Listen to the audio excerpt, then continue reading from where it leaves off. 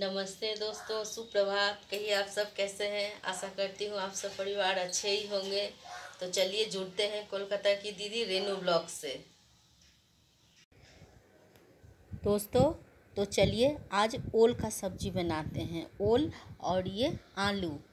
तो ओल को पता नहीं हम लोग क्या कहते हैं। हम लोग तो ओल बोलते हैं। ये जो इस टाइप का होता है, मिट्टी का आलू जो है, इस टाइप का इसको हम लोग ओल बोलते हैं। ओल का सब्ज़ी आज बनाते हैं। पूरा बिल्कुल ही आपको लगेगा जैसे हम पनीर खा रहे हैं। पनीर के सब्ज़ी के तरह ही ये बनेगा। तो चलिए, ओल का सब्ज़ी का मसाला तैयार करते हैं। तो चलिए दोस्तों, ओल का सब्ज़ी बनाते हैं। गैस जला दें। और थोड़ा इसमें तेल डाल दें। ओल को भूजने के लिए तेल डालें, थोड़ा तेल इसमें ज़्यादा लगेगा। इसको गरम होने देते हैं। तो देखिए, तेल गरम हो गया है।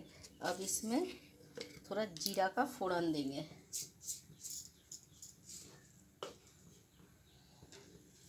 जीरा डाल दिए। जीरा चटक भी गया अब इसमें ओल डाल दे रहे हैं भूजने के लिए।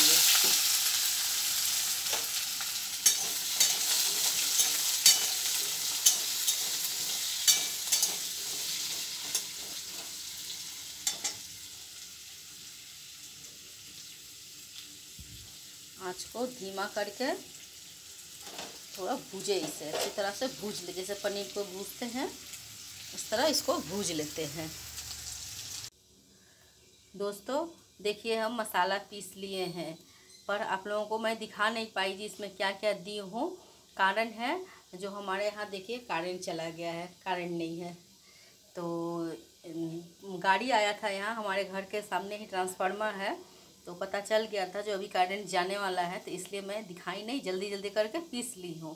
अब बता दे रही हूँ, इसमें धनिया, जीरा, लहसुन, अदरक और मिर्च है, ये सब डाल के हम पीसे हैं। और थोड़ा सा हो तो दो चार ठो आप आमन डाल सकते हैं इसमें। डाल के पीस लीजिए, बस मसाला आपका तैयार। तो मेरा भी मसाला तैयार हो गया है, मैं दिखा नहीं पाई, इसलिए मैं दुखी हूँ। तो और ये सब भी काट लिए हैं छौका में देने के लिए। ये धन, हरा धनिया है, तेज़पत्ता और ये कटा हुआ प्याज और टमाटर और सूखा मिर्च। ये सबसे छौका लगाएँगे। तो चलिए, ये सब तैयार तो कर लिए हैं। अब पनीर पनीर बोल रहे देखिए बार बार पनीर जैसा होता है, इसलिए पनीर ही मुँह में आ रहा है। वो ओल को भूज ले रहे हैं। चलिए। ओल भी मेरा देखिए इधर भुजा गया है। ऐसा ही चाहिए। ज़्यादा फिर भूज देने से सख्त हो जाएगा, फिर गलेगा नहीं। तो हो गया, अब इसको निकाल ले रहे हैं। चलिए।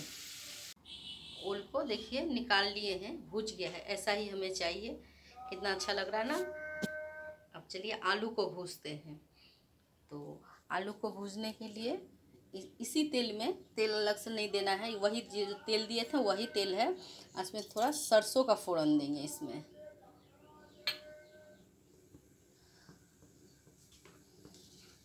सरसों दिए सूखा मिर्च।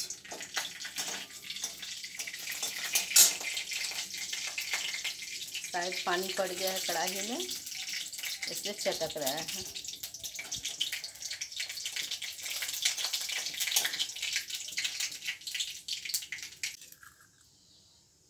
अब इसमें आलू डाल दे रहे हैं। आलू को भी ओल के तरह ही अच्छी तरह भूज लेंगे। तो इसे भूजने दे रहे हैं। देखिए, आलू भुजा गया है। अब इसे भी निकाल ले रहे हैं। तो चलिए, अब मसाला भूजने की, छौका लगा रहे मसाला की। तो लौंग और इलायची दोनों एक साथ ही दे दिए हैं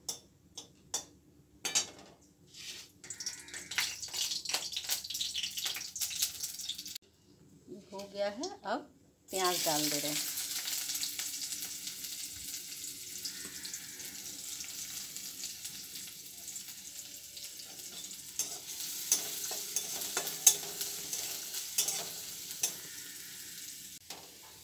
प्याज हो गया है, अब इसमें तेज़पत्ता डालेंगे। तेज़पत्ता पहले देने से ना जल जाता है तो इसलिए मैं पहले नहीं डालती हूँ। जब प्याज हो जाता है, फिर डालती हूँ। और अब इसमें मसाला डाल देंगे। जो मसाला भूज पीसे थे वो डाल देंगे।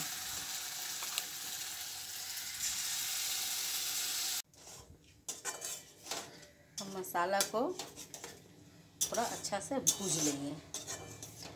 मसाला भी भूजने थे।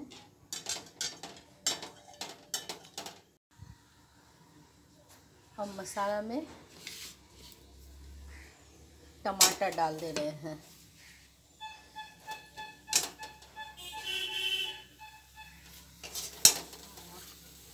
ये ओल भी डाल दे रहे हैं और आलू भी डाल देंगे।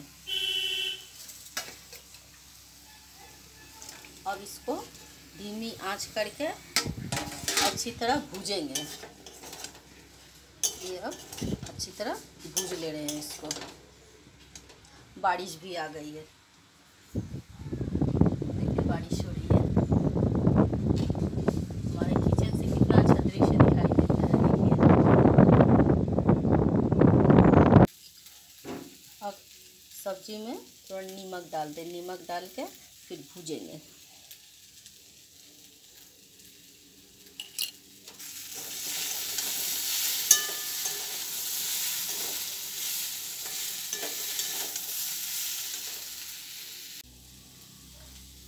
तकरीबन पाँच मिनट भूज लिए हैं। अब इसमें पानी डाल दे रहे हैं।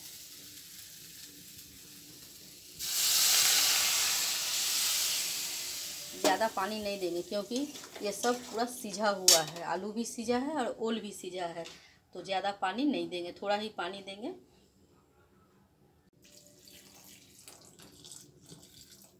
बस इतना काफ़ी है।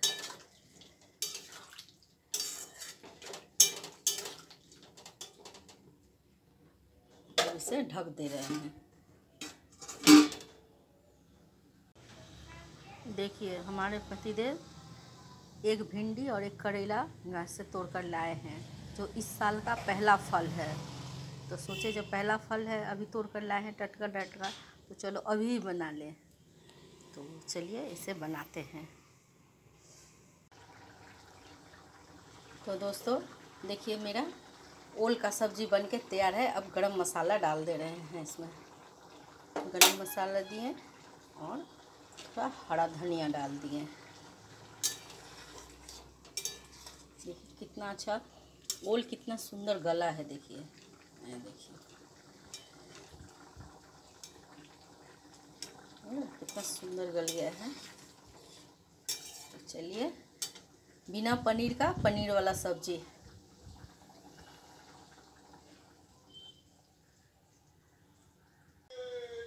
तो देखिए दोस्तों, ये जो भिंडी लाए थे, एक भिंडी और एक करेला, उसका भाजी बना लिए हैं।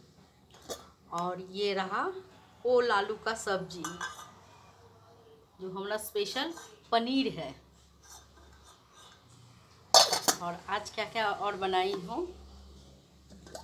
ये देखिए, पालंग साग देकर दाल बनाए हैं। सुबह का नाश्ता में बनाए थे बरबट्टी, आलू और बड़ी दाल का सब्ज़ी और रोटी और ये चावल है। तो आज मेरा खाना यही है। तो कल फिर किसी वीडियो के साथ मिलते हैं। नमस्ते। खुश रहिए, खुशियाँ बांटिए और वीडियो को लाइक और सब्सक्राइब कर लीजिए। यदि सब्सक्राइब नहीं किए हैं तो चलिए, नमस्ते।